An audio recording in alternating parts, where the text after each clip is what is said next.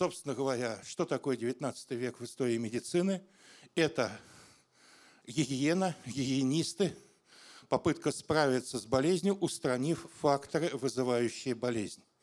Ну, э, из классического момента, напомню, Джон Сноу, не тот, который в «Игре престолов», а тот, который борьба с, в Лондоне, борьба с э, чумой, как они считали, вызываемой плохим лондонским воздухом. Плохой лондонский воздух из-за чего? Из-за того, что в Лондоне нет канализации. Давайте построим канализацию, а заодно посмотрим, что происходит с водопроводом. И выяснилось, что с водопроводом полный ад и швах. В водопроводе водятся живые рыбы, помимо всего прочего, э, в питьевой воде. А заболевания холерой таковы, что четко привязаны, что есть колонки с водой, где есть холера, а есть колонки с водой, где нет холеры. Когда врач Джон Сноу, английский, создал карту Лондона, на которой начал отмечать все случаи холеры, внезапно обнаружилось, что водопровод бы надо почистить. Когда построили канализацию, с чумой нет, это не справилось, с чумой справились другими способами, но пропала зато холера. Вот. И э, это 1860-е годы. И в 1861 году родился Фейтьев Нансен. А, ну, тут я не мог просто, извините, не а, пошутить, потому что существует а, целая скандинавская литература, исландские саги, норвежские саги и так далее. И одна из выдающихся литературных произведений – сага о Фейтьёфе. Собственно говоря, Фейтьёф – это всем очень хороший человек, ну, для викинга, понятно. Вот, весь такой из себя, лет на сто старше нашего Рюрика, легендарного не менее – ну и сам Фейтьев-то, в общем, вполне себе легендарный. Но он был из всех мужей самый рослый и сильный, был хорошо подготовлен к доблестным делам уже в юности. Его прозвали Фейтьефом Смелым. Он был так любим, что все желали ему добра. Все эти слова можно сказать и про Фейтьефа Бальдура Нансена. А Бальдура Ярмала, Ярма, Ярмала Нансена.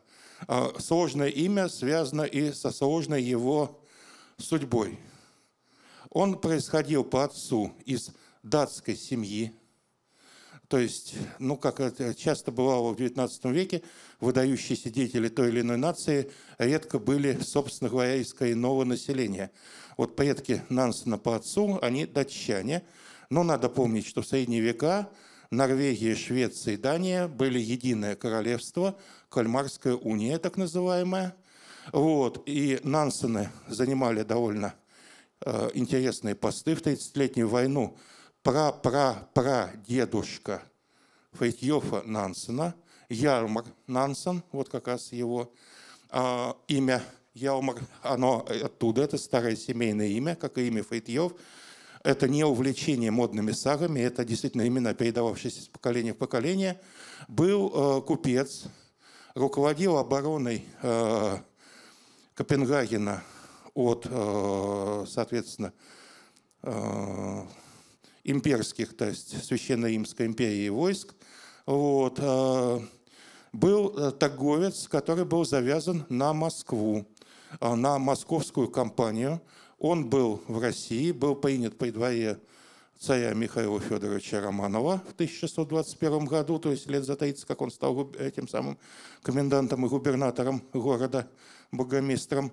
А, он был а, в Сибири, ходил на а, датском торговом корабле в Архангельск и далее передвигался там какими-то местными средствами. То есть примерно, если в Мангазее он и не был, то хотя бы за Пермь, а, за Урал он попал. Что для иностранцев э, России 17 века, в общем, вещь нечастая, которые оседали в основном вокруг Москвы. А, человек был крайне интересный. Еще более интересным является происхождение Нансена по материнской линии. Мама его баронесса, за отца Фридьёфа, значит, Бальдура Нансена, она вышла, это был ее второй брак. А первым браком она была за лейтенантом а, норвежской армии. А, который, в общем-то, на самом деле был сын пекаря. Такая уже достаточно демократическая семья. Но дело в том, что его мама, она потомок скажем так, сейчас современные исследователи говорят, что это, возможно, семейная легенда, это ничем не доказано, но так или иначе она потомок незаконно рожденного ребенка э, шведского короля Фрейдерика. Вот. Таким образом, когда Норвегия стала независимым государством, я забегаю вперед, Фрейдьев Нансен стал а, послом а, в Великобритании новообразованного норвежского королевства, он был всего-навсего троюродный дядя норвежскому королю Хокону VII.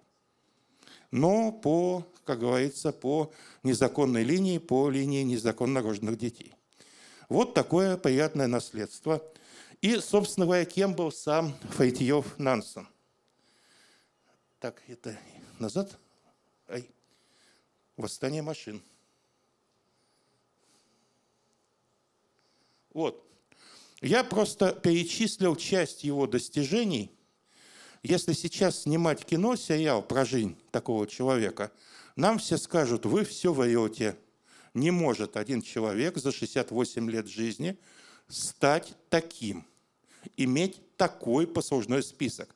Поэтому я перечислил только часть того, что сделал Фритьев Нансен за свою жизнь. Он был выдающийся спортсмен. К спорту его приучила мать. А, мать, которая сама была неплохой спортсменкой, конькобежкой и лыжницей, как вот сейчас сказать.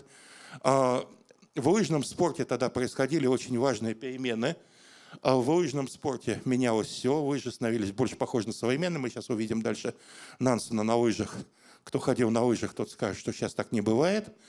Вот. Но человек имел мировой рекорд в беге на коньках. Человек 12-кратный чемпион Норвегии в тех или иных дисциплинах по лыжному спорту. Э, при этом э, лыжные походы горный лыжный поход, первый зарегистрированный в мире. Он пересек цепь норвежских гор, э, пройдя из шведской глубинной территории на территорию порта Берген через двухкилометровые горы в полярной обстановке. Это, в общем, так сейчас знаменитые никелевые рудники, э, добыча из-за которых, в общем, Норвегия попала во Вторую мировую войну. Э, места и сейчас, в общем, чрезвычайно опасные. И он сделал этот лыжный проход через горы высотой около там, порядка двух километров в одиночку зимой. В результате, кстати, поссорился с собственным отцом, который утверждал, что, в общем, так рисковать свою жизнь глупо и не стоит. Вот. Он э, был биолог, он, э, его диссертация по гистологии тканей беспозвоночных, он э, стажировался у Камила Гольджи, тот самый, который открыл аппарат Гольджи в клетке цитология, Нобелевский лауреат. Э, его приглашал работать у себя к себе в лабораторию Луи Пастер.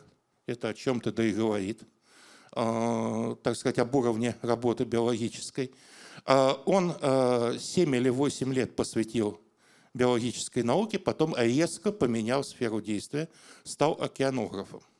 А, география, физическая география морей и океанов, тогда шли напряженнейшие исследования. Как океанограф он состоялся целиком и полностью. Физическая океанография, то есть как и что движется лед, морские течения и так далее, это наука, созданная лично Фрейдьёфом Нансеном это э, его докторская степень, она заслужена целиком и полностью, как доктора по зоологии, так и доктора по географии. Тогда это все входило туда. Только чудом он не попал в, на, в Новую Гвинейскую, опять, может быть, мы бы знали, экспедицию, которую организовал, но не дожил э, до нее наш известный ученый Николай Микуха Маклай.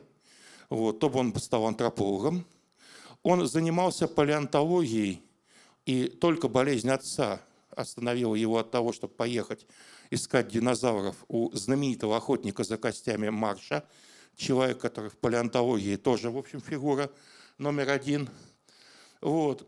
Человек, который всерьез увлекался живописью, к сожалению, я не нашел ни одной картины а, в интернете, написанной Нансеном, большинство его картин и рисунков, которые он писал в цвете акварели масляной краски были изданы в виде гравюр, ну, переделаны в черно-белое. Его рисунки доступны карандашом. Вот. Но как художник ему всерьез предлагали брось все, брось науку, э, занимайся живописью. Благо наука особо денег-то ему и не приносила. Э, в семье было 11 детей. У его матери от первого брака было 5 детей, 6 детей было от второго брака с Нансеном. Он второй сын, старший его брат, к сожалению, умер в младенчестве, остальные, в общем-то, все вполне выжили, и как-то надо было и сестер замуж выдавать. И э, к этому времени уже болел отец, поэтому как палеонтолог он не состоялся. Но этого хватило. Да, потом он стал известный писатель, и его книги о путешествиях издавались уже в XIX веке стотысячными, а в XX миллионными тиражами.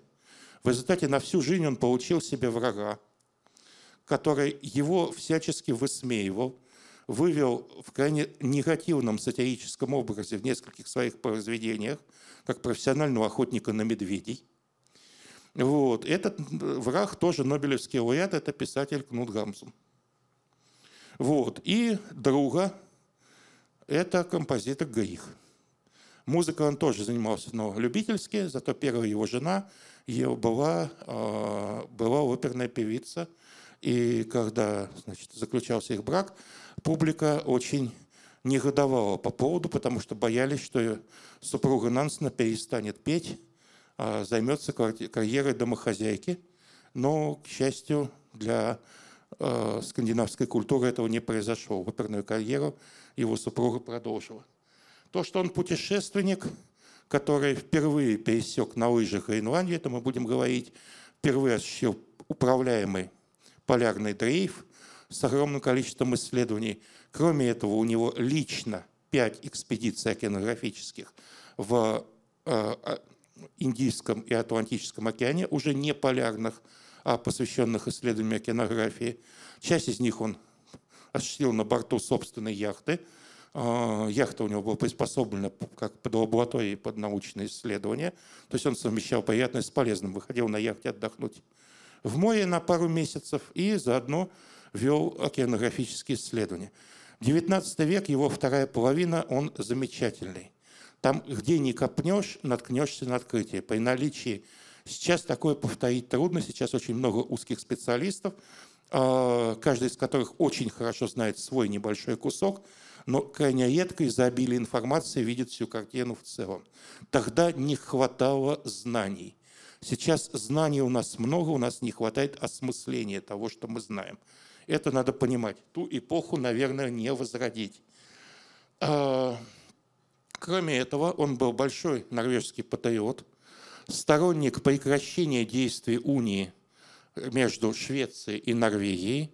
Это недавнее, так сказать, и его дед в свое время сыграл большую роль в слиянии шведского королевства с Норвегией в 1814 году, а внук Фритьев Нансен сыграл огромную роль в 1905 году в отделении Норвегии от Швеции. Ну, в общем, судьба.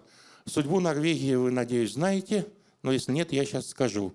Во время наполеоновских войн а, параллельно шла русско-шведская война, в ходе которой Александр I отобрал таки, стоите попытки, до этого при Петре пытались, и вернули часть а, при Екатерине II и замирились на условиях.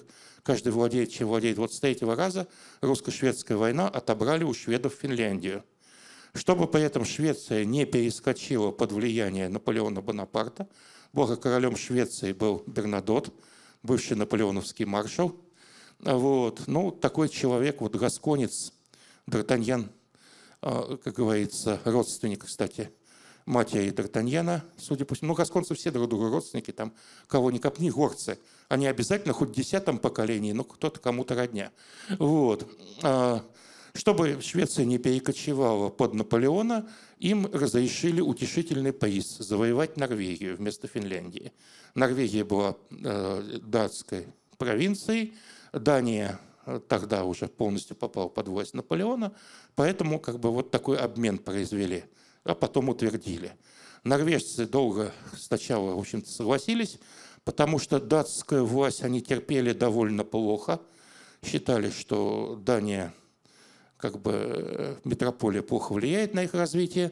Вот. Шведскую сначала восприняли с удовольствием, потом стали считать, что тоже. Самое интересное, что одним из сильнейших сторонников э, отделения Норвегии от Швеции был тогдашний шведский король Оскар II. Поэтому отделение произошло мирным путем, хотя даже собирались повоевать, вышли боевые флоты э, Швеции и Норвегии, э, хотя эти страны были в унии, у них был общий король, как и Австро-Венгрия, дуалистическая монархия, каждая страна содержала свои вооруженные силы, свои министерства, свой бюджет. И вот был отдельно шведский флот, отдельно норвежский. Он разделился, собрался воевать друг с другом, но приплыли эскадры, сосредоточенные Германии, Франции и Великобритании, и сказали, что нет, пожалуйста, не надо, вот только без стрельбы. И обошлось без стрельбы, а новообразованное Норвежское королевство выбрало Нансена при полном одобрении короля и парламента первым послом не куда-нибудь, а в первую державу мира тогда, в Великобританию. И он был посол в, ранг, в ранге полномочного посланника и министра, то есть это министерская должность. А, высший, так сказать, пик дипломатической карьеры. Посол он пробыл недолго, три года, но за эти три года сделал бесконечно много для официального мирового признания Норвегии – для обеспечения Норвегии как самостоятельной страны со своей дипломатией, со своими дипломатическими интересами, консульствами по всему миру, поддержкой норвежцев на заграничных территориях. А Норвегия тогда была нищая страна, что греха таить, время от времени попадавшая просто под голод. Вот как раз его враг Гамсун роман написал замечательный про голод в Швеции Норвегии 1900-1901 года. Вот, роман так называется «Голод» Гамсуна прочитаешь, так безнадега такая, что, как говорится, самого Гамсуна, который действительно голодал в молодость, а, еще в предыдущий голод, а, спасли русские маяки с какого-то русского торгового судна. Они его затащили на корабль и накормили. А, писатель Гамсун, будущий, считал, что его сейчас, как вот тогда это было модно набирать маяков по эссингам, сейчас это накормят, напоят, а потом, значит, он проснется с контрактом на 10 лет и будет работать. И он был готов на это. Ну, русские его накормили и отпустили. Он, в общем, крайне не понял, в чем, так сказать, был интерес этих маяков. Вот. А, и а, в связи с этим норвежской деятельностью и мировым дипломатическим опытом связана будет и поездка Нансена в 1913 году в Красноярск, и последующие его действия – по репатриации военнопленных во время Первой мировой войны, по спасению армян от резни 1915-1921 э, года в Турции. И на обломках не так страшна была резня, как говорится, собственно говоря, в Ванской Армении 1915 года, как последующий, когда Турецкая Османская империя распалась, там случилась очередная революция, это самое, где пришел к власти Кемаль Ататюрк, чудовищная по своим последствиям и жертвам война между Грецией и Турцией после Первой мировой 1919-1921 года, прекратившаяся отчасти из-за того, что туркам повезло, греческого короля, одновременно полководца и командующего греческой армией, укусила бешеная обезьяна, и он умер от бешенства. Вот, э, в общем, главнокомандующий. А, и э, это все Нансеновская организация помощи беженцам, в том числе беженцам, перемещенным после гражданской войны России, Нансеновский центр помощи голодающим, комиссия по спасению голодающих по Волжье и в России 2020-2021 года, и последующий Нансеновский центр помощи беженцам, который существует до сих пор, который стал лауреатом Нобелевской премии мира в 1938 году, уже после смерти Нансена. Но мало этого – еще Нансен состоялся как изобретатель. Он, конечно, не изобрел велосипеда, но он изобрел, например, полярную кухню-печку. Э, маленький э, аппарат, который можно поставить на примус, где в водяной бане приготовить горячее блюдо, и одновременно э, топится вода изо льда и снега, получается теплая питьевая вода. А теплое питание, оно в арктических условиях оно не заменимо абсолютно. Вот будем говорить сейчас о полярной медицине. как говорится, убивает не холод, убивает отсутствие полноценной пищи. Когда человек, существо теплокровное, сыт и, в общем-то, не теряет тепло даром, то есть одет более-менее адекватной обстановке, э, не так страшно, что у него нет э, достаточного количества, э, так сказать, ну то есть мороз минус 70, мороз минус 50 не так страшен, как то, что нет пищи, грубо говоря, не подкидывается уголь в топку. Итак, я, хотя вот историки любят сыпать датами и событиями, датами сыпать не буду, просто чтобы вы поняли эту эпоху. Эпоху, когда а, мир переходит с пара на электричество, появляются первые автомобили, а, наука кажется познаваемой до конца, знаменитое высказывание, что физики уже все открыли, осталось только два маленьких облачка на безоблачном небе науки – вот. Одно из этих маленьких облачек как раз устройство атомного ядра и прочая ядерная физика, которая потом разовьется. Итак, первая мировая известность Фритьёфа Нансена. Он уже состоявшийся биолог, но еще не защитил диссертацию. Он студент, работавший а, по гистологии морских беспозвоночных.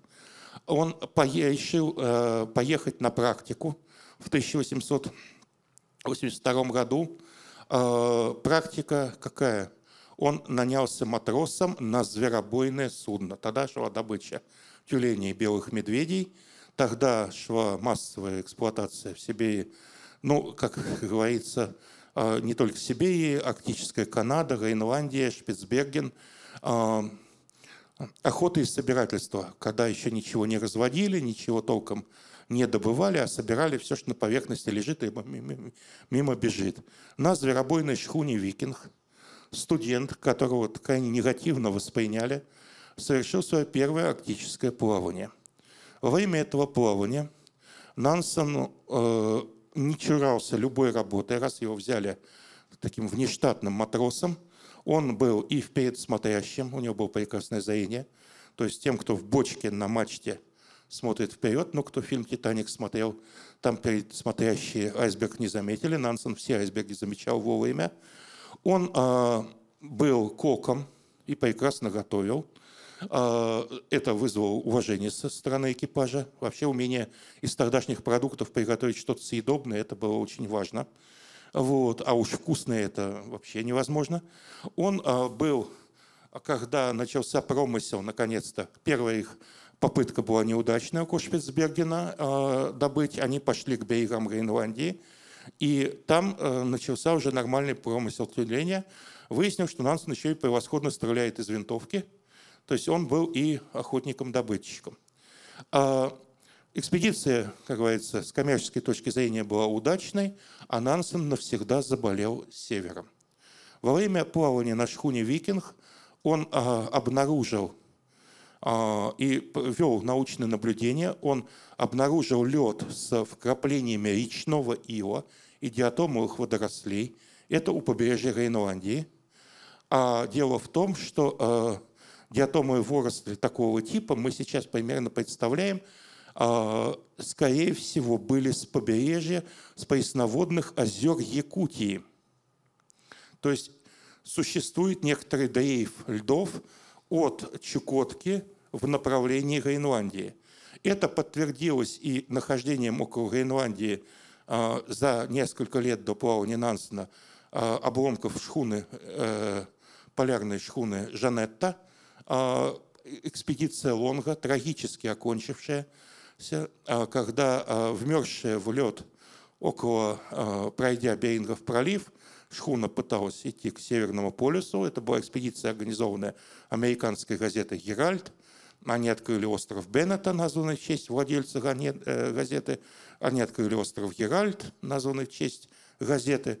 Дальше Женетта была вмерзла в лед, через некоторое время раздавлена, как впоследствии погиб пароход Челюскин, а ее экипаж 34 человека во главе с американским лейтенантом флота Лонгом – а, пошел на помощь. Они разделились на две группы. Одна группа исчезла во льдах целиком, вторая дошла до побережья Сибири в районе Якутии и выслала вперед двух человек а, попытаться, а, как бы сказать, что терпит бедствие, нет продовольствия. Из этих двух человек один дошел до поселения якутов и не мог объяснить, он не знал русского языка, а, те не знали английского. А, быстро власти догадались, что что-то не так, прислали политического сильного, знавшего английский язык, всего 400 километров. Представьте, что такое 400 километров в Якутии. Это, конечно, недалеко по местным меркам, но это было время. А, и, к сожалению, пока наладили контакт, выслали спасательную экспедицию, выяснилось, что и остатки второй группы погибли от голода и болезней. В общем, а, таким образом, в общем, экспедиция Лонга закончилась трагически. Но никто не знал, что обломки шхуны, раздавленные на выходе из Берингового пролива, через несколько лет найдут у берегов Гренландии. Арктические льды дрейфуют, так считал Нансен. Он находил обломки сибирской древесины, сибирской лиственницы. Канадская лиственница и сибирская отличаются на уровне микроскопического строения. Вот, их можно определить даже по мелким щепкам. И тут пригодилось, что работа гистологии и работа с микроскопом, которую Нансен знал. Я еще раз повторю, он все это делал на борту зверобойной шхуны – ведший коммерческий зверобойный промысел. Это не современные научные корабли с лабораторией. Это каютка, коморка матроса, который э, еще этом выполняет свои обязанности 10-12 часов в сутки. Вахту стоит, добывает зверя, потрошит шкуры, в, топит ворвань и так далее. Э,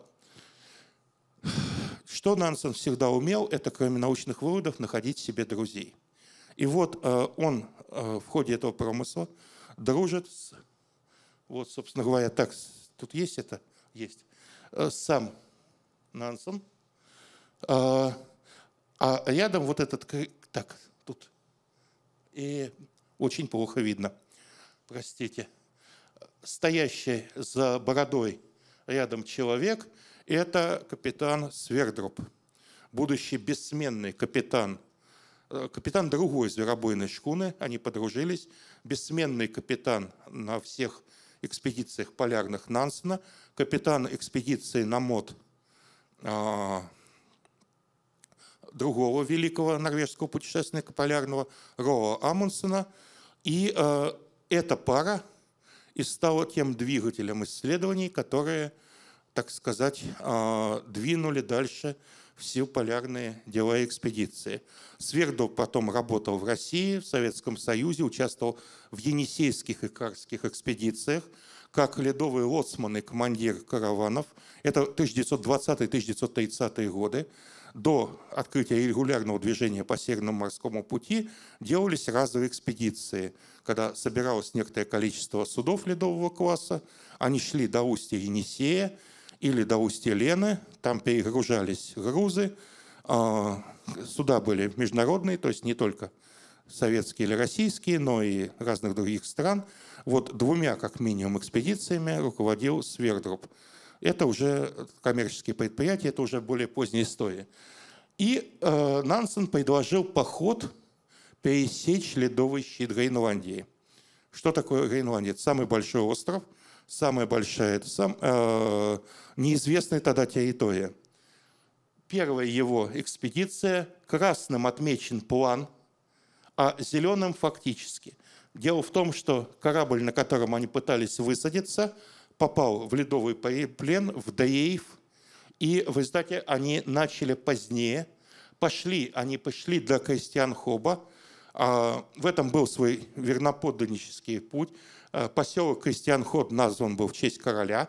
Вот, Крестьяна, э, очень уважаемого, популярного Крестьяна IV, это где-то 16 век. Вот. Но э, поняв, что до Крестьян-Хоба они не дойдут с имеющимся запасом, вот здесь и начинается у нас медицина. Они резко свернули и дошли все-таки 600 километров до Ротхоба. Да, они не выполнили первоначальный маршрут, но таки пересекли Гренландский ледниковый щит. И впервые Нансен делает очень важное открытие, в чем ему помог его друг капитан Свердроп. В какой-то момент они, э, питаясь, у них в основном была мясная пища, а, но э, мясная пища, охота кончилась, Они тащили с собой крупу, они тащили с собой какие-то консервы и э, начали терять силы, шелушится кожа, никакая еда не помогает. И э, чего не хватает? И тут Свердруп предположил, что им не хватает жирного. У них нет никакого масла. А в еде не хватает, у них есть белки, у них есть углеводы, в еде не хватает жира. А они начали варить и добавлять в пищу мазь для смазки лыж, льняное масло с сажей. Благодаря этому они выжили и дошли до поселка Гадхоп. Осталось еще 210 километров. Иначе так бы и погибли бы 7 человек, погибли бы 6 человек, погибли бы напрасно э, во льдах Гренландии, мы бы о них ничего не узнали. Эта э, необходимость жиров в балансе стала первым медицинским полярным открытием. Вообще э, история полярной еды, она очень древняя, начиная с э, пропавшей, так сказать, плавания московской компании во времена Ивана Грозного из Англии в Россию, собственно говоря, когда Россию открыли для себя англичане, когда один корабль с Ченслором дошел до русских поселений, до Холмогоров на Белом море, а два в районе Баренцева моря, в районе современного Мурманска, были затерты во льдах, и нашедшие их по море увидели странную вещь. Сидели люди, сидели в одежде, а, ничем не тронуты, у них были с собой запасы еды, а, они зимовали а, на кораблях, поставленных к берегу, то есть у них было топливо, у них была еда, и они все были мертвые. Долго пытались понять погибшие, так сказать, английская экспедиция Уиллоби, что же их убило. Сейчас мы знаем, что их убил угарный газ – они просто угорели, рано закрыв трубу в печке с углем и погибли от отравления СО. А, начальник экспедиции так и умер, сидя за журналом, в котором записывал очередные, так сказать, события дня. А вот с этой трагедии, когда ученые, тогдашние медики пытались разобраться, в чем дело, зимовка Байенса на а, Новой Земле – Э, было два подхода. Первый подход – все европейский. Ну, европеец, он же везде европеец. В Индию приплыл, розбив обязательно, так сказать, ром, яичница, свиная грудинка. В Австралию приплыл ром, яичница, свиная грудинка. В Африке тоже меню. Если читали Гончарова «Фрегат Паллада», очень советую, если не читали, э, так сказать, прочитать, если читали, то перечитать. Он потрясающе пишет, где, как, что едят во время кругосветного плавания. Над англичанами он просто издевается, что они везде, независимо от климата, в одно и то же время едят одно и то же, причиняя себе страшный вред желудку. Кончилось это все грандиозной трагедией полярной экспедиции 1845 года «Эребус и террор». Недавно был написан мистический роман «Террор», по нему снят сериал. Ну, э, по поводу сериала высказываться, так сказать, трудно. Красиво, но все не так. Мистику отбросим, но э, долгое время экспедиция считалась погибла из-за того, что консервы были в банках со свинцом, отравились свинцом. И исследования показали, что, в общем, дело не только в этом, и даже не совсем в этом. А когда у них испортились продукты окончательно европейского типа, в том числе и консервные банки – потому что консервы не э, свинцом они отравились. Консервные банки, запаянные свинцом, полопались, и продукты протухли летом. В, в Арктике все равно ухитриться потерять продовольствие. Они попытались выйти пешком, причем шли по вполне себе островам канадского архипелага, то есть по суше, пытались прокормиться охотой и погибли. Трагедия в том, что их было много – 145 человек изначально, 120, когда они вышли пешком, бросив корабли. А такое количество людей не может прокормиться в приполярных областях охотой, потому что зверя там много, но мало. Его на квадратный, как говорится, на погонный километр, один белый медведь там на 30-40 километров, один тюлень на 10. Вот. И никакой охотой невозможно прокормить большое количество людей. Если бы их там было меньше, они бы прошли. Путь э, экспедиции Франклина выполнил будущий соперник и друг Нансена Амундсен в 1907 году. Он прошел, так, по-моему, седьмом все-таки, прошел северо-западным проходом полностью на шхуне Йоа, взяв с собой семь человек. Семь человек прокормились великолепно. Они прошли, в общем, как по маслу. А опыт Нансена, а, опыт осмысления того, что сначала гибель экспедиции Франклина, потом 20 лет искали Франклина, это целая эпопея, лучше почитать, так сказать, отдельно. А, значит, шарахнулись в другую крайность в медицине. Надо уподобиться эскимосам. Эскимосы живут – едят мясо с жиром, эскимосы едят этот пемикан, а, индейские и американские эскимосы. Надо полностью уподобиться эскимосам, носить эскимосскую одежду, есть эскимосскую пищу, и тогда ты в, Африке, в Арктике будешь чувствовать себя как человек. Это все пошло с Макклюра, шотландца, который как раз искал экспедицию Франкля. Потом развивалось. Опыт Нансена показал, что и уподобляться эскимосам можно только если ты сам эскимос все-таки люди разные. Желающие могут спросить Станислава Дорбашевского. Антропологии люди отличаются. И чтобы войти в режим существования полярных народов, надо долго жить, как полярные народы. Благо, только-только 1880-е годы параллельно только начинают задумываться, что существует такая штука, как витамины, а, существует и так далее, и надо что-то делать с питанием. Нансен понимает, что нужен баланс между а, полярными технологиями полярных народов и технологиями народов, соответственно, европейских. И этот баланс соблюдается. А, именно с Нансена пошли экспедиции, которые несут в себе и европейское, и эскимосское снаряжение в должной пропорции, и а, местное питание, и европейское питание – Итак, мы переходим к главному делу Нансена. Так, восстание машин. Это экспедиция на судне «Фрам». Нансен уже известный человек, выдающийся спортсмен, доктор наук.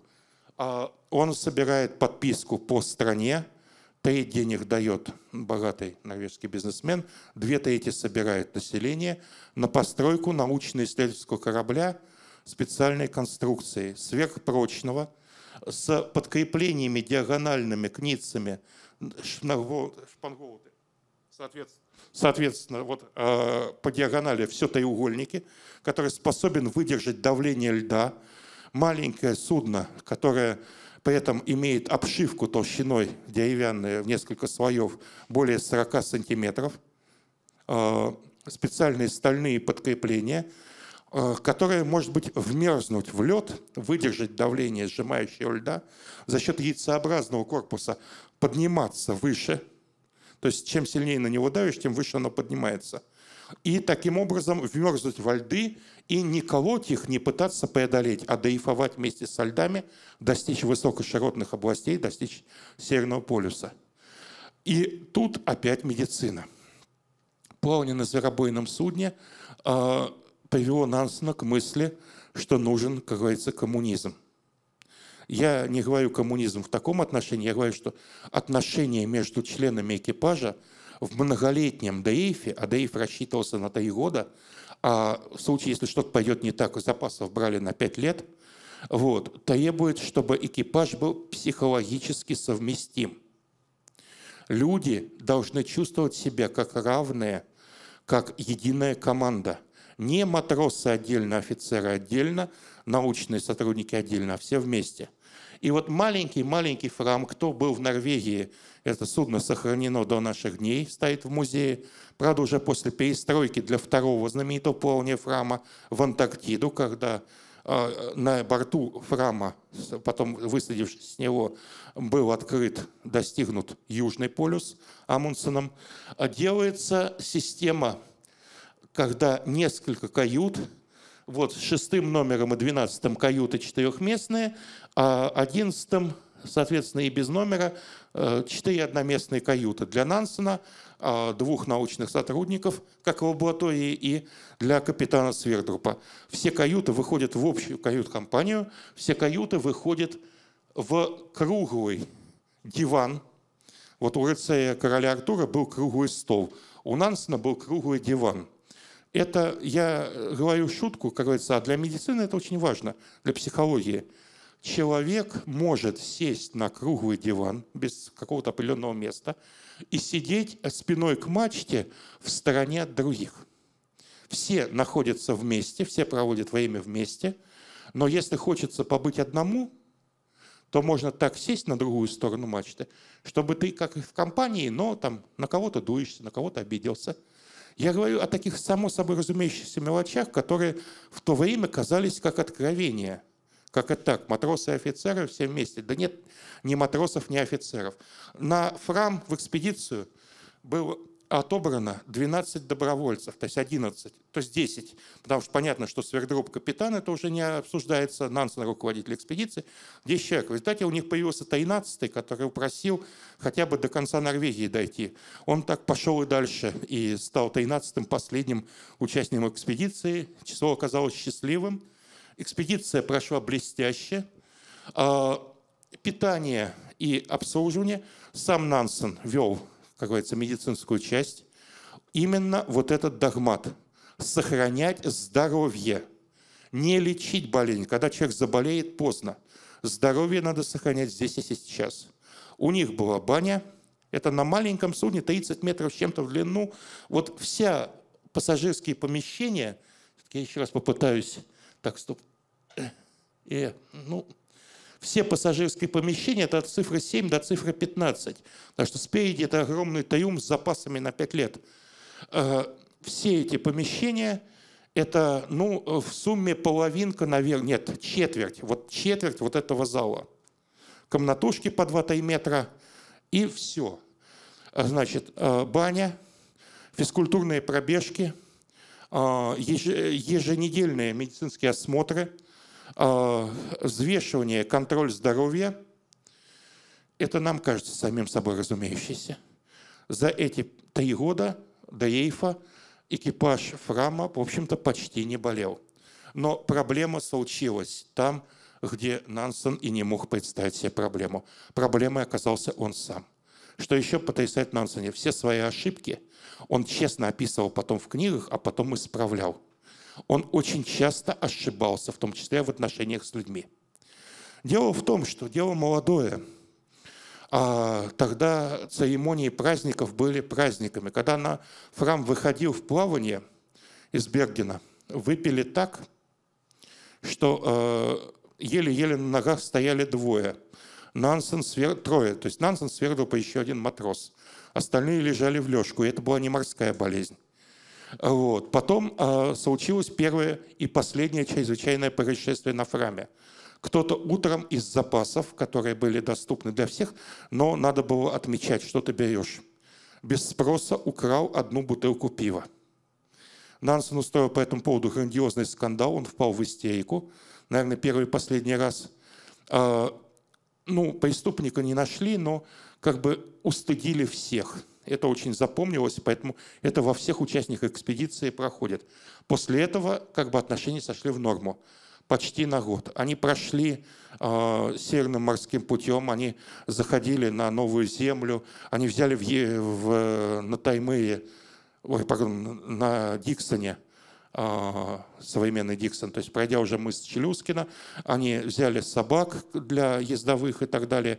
Вот. А, немного не дошли, они хотели зайти в устье Енисея, но немного не дошли. И дальше начался этот беспримерный полярный дрейф. Так, ой.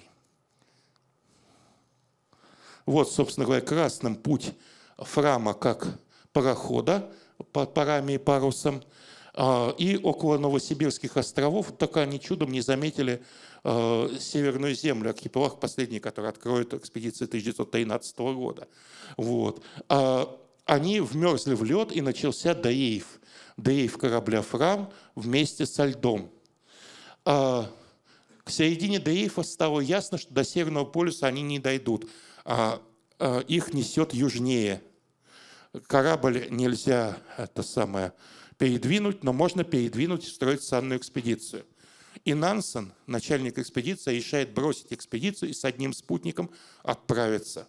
Это опять медицина, потому что, потому что э, он впал в депрессию, сам руководитель экспедиции. Он вдруг понял, что он мешает психологическому климату. А депрессия проста. Перед тем, как выйти в плавание, Нансен женился. И где-то через полтора года до Ифа у него началась жесточайшая тоска по жене. Он начал кричать, ссориться. Даже своего друга, абсолютно э, флегматика, Свердрупа довел. И он решает с добровольцем, тоже человек удивительной судьбы и, к сожалению, трагической судьбы, э, Ялмаром Илагансеном, вот он сидит, э, второй лейтенант норвежской армии, что греха таить, алкоголик, это его изгубило, полярный исследователь, он сидит в, шхуе, в шубе из волков, он ей страшно гордился. Всех этих волков на шубу он убил сам. Вот. Они решают на лыжах двинуться на Северный полюс отдельно. Это разоедило психологический климат. Сверхдруп дальше руководил экспедицией, Фрам благополучно вернулся. Нансен с Эгансеном более 300 дней а, по льдам шли, э, так сказать, к полюсу. Понятно, когда поняли, что не дойдут, или дойдут, но не смогут вернуться, на 86-м году чуть-чуть не дошли, 400 с чем-то километров, а Нансен вернулся назад – Дальше они пользовались неверной картой. Они считали, что там есть острова, открытые предыдущей австрийской экспедицией. Никаких островов там не было. Когда они поняли, что карта выйдет, э, карта ложная, они вернулись на землю Франца Иосифа, встретились с экспедицией английской э, и э, вернулись почти одновременно с возвращением Фрама. Феноменально счастливое возвращение. После этого Нансен, конечно, в мире авторитет в полярном деле номер один. Это гравюра с рисунка самого Нацина. Их зимовка на острове, на Белой земле, архипелаг Белой земли, открытый Нансеном около островов Франца Иосифа. Э, он думал, что это два острова разных. Один назвал в честь дочери, один раз в честь жены. Острова Евы и острова Лив. Сейчас выяснилось, что это один единый остров, и он называется Евалив. Никто не знает, так сказать, это смешное название. И мы переходим у нас впереди еще было очень много свершений, но время нас уже поджимает, о его сибирском плавании 13 года. Это не было научной экспедицией. А мир казался прекрасным. В России как раз выходит справочник «Вся Россия 13 года». Почему нас любили сравнивать с 13 годом? Потому что по нему вышел замечательный статистический справочник. Назывался так и назывался «Вся Россия 1913». О состоянии экономики, о состоянии всего. Э, многие государства заинтересованы в торговле. И вот голландской постройки пароход, принадлежащий скандинавской смешанной шведско-норвежской судоходной компании, э, с участием российского капитала, с несколькими депутатами Государственной Думы, с послом в Норвегии, России в Норвегии Лаис Меликовым, это сын Лаиса Меликова, видного деятеля времен императора Александра II, его даже диктатором звали, и с Нансеном на борту отправляется в Красноярск. Проблема предполагалась, что пароход пройдет северным морским путем, войдет в устье Енисея и подымется до города сколько сможет. Пароход-то как раз был неказистый. Вот карта плавания трех судов. Значит, э, это была экспедиция комплексная, то есть Нансен участвовал только в части. Соответственно, э, так жирным, красным жирным э, это плавание самого корректа. Понятно, что э, до устья Енисея подняться не удалось, пароход все-таки океанского типа. Дальше перегрузились на баржи, а дальше даже обмелел Енисей, и баржи пройти не могли. В конце концов, Красноярск Нансен со спутниками прибыл на шарабанах, то есть на телегах, в общем-то, с конским приводом. Еще два парохода «Спада» и «Николай II» принимали участие. Вот, соответственно, вся Сибирь, которая казалась тогда Ямал и Таймыр и все прочее, э, все э, экономические возможности, торговли и так далее. Но, понимаете, 1913 год. Через год в Сараево убили герцога, и все посыпалось в. А планы... Вот, кстати, этот пароход. Совершенно ржавый Трамп – то есть пароход без определенной линии, 1600 тонн, как всегда маленький, а, деревянная обшивка для защиты от льда. И, в общем, на таком совершенно непоэтизательном судне проходило вот это сибирское плавание, окончившееся здесь, в Красноярске. А, были заключены контракты, часть из них потом всплыли уже в торговлю с Советским Союзом после Первой мировой, после гражданской войны, после революции. А опыт, полученный в этих плаваниях, помогал при доставке продовольственной помощи во время голода России Нансеновского комитета. Я повторю, это не была научная экспедиция, это не была медицинская экспедиция, это была экспедиция уже экономическая. Ну, на этом я закончу. О Нансене можно разговаривать часами и десятилетиями.